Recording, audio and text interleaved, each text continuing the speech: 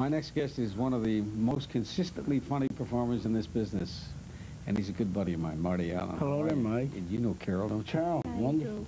Hi. I like you better as Carol Kane than Bo Derek. Thank you. You Glad- brought me a book tonight. Before I do anything, ever before I do anything, I was told to tell you, I was watching the game. It's 11-2 Milwaukee. No, wrong. no, wrong. 500, 5 nothing. St. Louis. St. Louis, no kidding. I knew that would be important to you. That's important to me, very now important. it's the Mike Douglas show. You have an announcement to make, I am told. Oh, yeah. You got a show. He's got his own show. I'm so I'm going to be a host of a show called The Fun House, and I will be the host uh, introducing new comedians and comedians. And no uh, where are you gonna do it? cable You're- you- show you gonna be do it- done in Phoenix, Sun Bear Productions, uh, Channel 5 out of uh, Phoenix, That's and uh, start November 5th. Are there any young comics on the scene presently that you're impressed with? Most of them are in Washington and gov- in President Governor, President Reagan's cabinet. but I got three of them coming in. No, I know how Haig you- may be there. He's making a movie in which he dies in his own arms. But as soon as it's over, he'll be on. But you've got a good eye and a good Yeah. uh, for, for, for talent and have told me so many things that have, uh, I mean, I'll never forget you giving me a book years ago and I, I was out here on a trip and I went back to the hotel and read it and called you up and I couldn't believe it. I said, where did you get this? It's The Godfather. This is the first man that gave me that. He gave me Thornbirds and- Yeah. before anyone had, Gave you uh, Day of the Jackal and Yeah. Sidney Sheldon's The oh, Other Sidney Side of Midnight. Yeah, the side of midnight before. I read that In before. fact, this weekend I'm doing World of Books uh, on cable with uh, Bill Stout. Have you always been a, an avid reader, Mike? Well, you know, I'm on the road so much, Mike, that uh, I just, I get on a plane, I take about four or five books with me, and to make the trip more pleasant, read a book. And, uh, How many books one. a week do you read? well, I was reading about four or five a week. Anything that you can recommend right now? I know Well, the one just- I gave you You just gave Red me. Smith. Oh, I loved Red Smith. And uh, Judith Krantz' new book will be Mistral's Daughter. And also, uh, I just finished last night the Three Stooges scrapbook that has everything, and you're in it, by the way. oh, you know, You made a statement in which you said their legacy Oh. will live forever. I never forgot. You know, the one thing I admire so much in this business, besides talent, is professionalism. When and I don't understand some of the young people who have made names for themselves who will make a date to do a show, and you're costing you a fortune, you know, to tape. Mhm.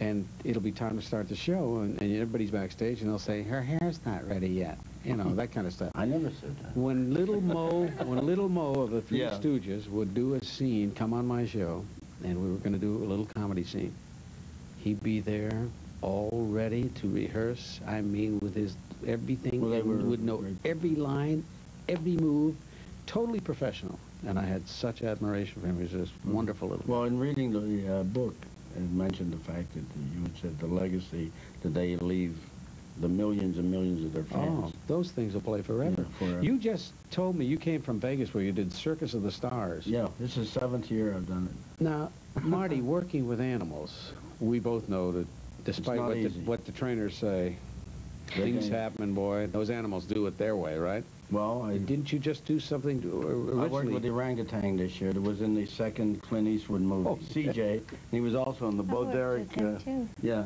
also in the You Bo worked with Derek him? Yeah. movie. And the picture called the Mafu Kid. Yeah. I love They're them. so lovable. Yeah, Oh, he so is. great. But it's But he looked you over pretty good. the strength of those And I animals is told frightening. him, I said, uh, we'll work it out. So they, they said, well, what would you do with him? You just, we just do the signals, you know, and show the, what he does. I said, no, I'll write a sketch. So I wrote a sketch about CJ and I being on a double date together. And I walk out on the stage, on the, in the circus in the center ring and said, CJ, uh, the girl's gonna show up? And he goes, and we proceeded to do Oh, little that's shtick like that. Sat at the bar. Didn't I see you? Did I dream this, or did I see you wrestle a bear on? That was last year. The bear tried to eat me.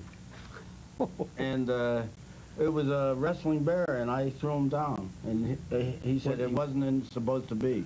So he got mad, and he tried to get me and shake me, you know. How much did he weigh? About 600 pounds, at least. Oh, 600. yeah. He was unbelievable. The year before was the elephant, I laid under the... And the elephant stepped over me. Now that's something. When they put their foot right over your head, Yeah, he had his foot right over me. like this, But I, I was cool. I said, I'm a Republican. You know, I wouldn't tell him. I know you're a big sports fan, Marty. What do you think of the football strike? Got to Well.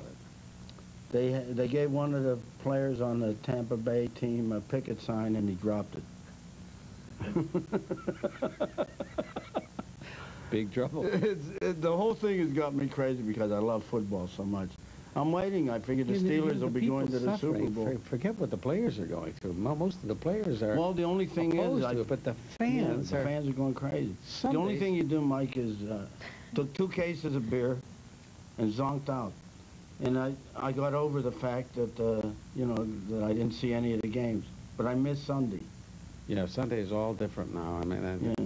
my staff tells me you've got a funny story about a guy named Arthur, right? Well, this this is so it's so human that it's it's really warm.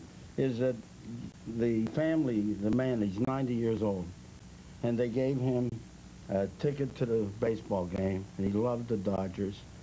And uh, they gave him a $50 bill, and he bought a hot dog, a beer, a cap, and a cushion.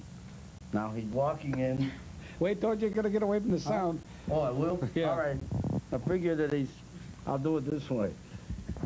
I'll make it very easy. okay, that's fine. Show business is my life. All right. He walks in. He walks in the aisle. He's got the cap and the cushion, the hot dog and the beer, and he's walking in, and he hears, huh? Well, schlepping in, and he hears Arthur, and he says, "Oh, would you hold my hot dog and my beer, my cushion, my program?" And turns around. Thank you very much. Thank you. Thank you. And he walks and he hears, Arthur! He said, would you hold the hot dog and the beer, the cushion and the cat? Turns around, looks. Thank you very much. Picks up all the things and he's walking in and he goes, Arthur! He says, would you hold the hot dog and the beer, the cushion and the cat? My name's not Arthur!